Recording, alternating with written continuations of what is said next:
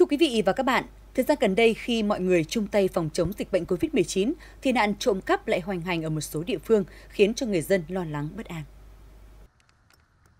Dạng sáng ngày 29 tháng 3, gia đình ông Nguyễn Công Đản ở số nhà 16, phố Lương Định Của, phường An Tảo thức dậy thì phát hiện ví, đồ đạc trong nhà bị lục tung.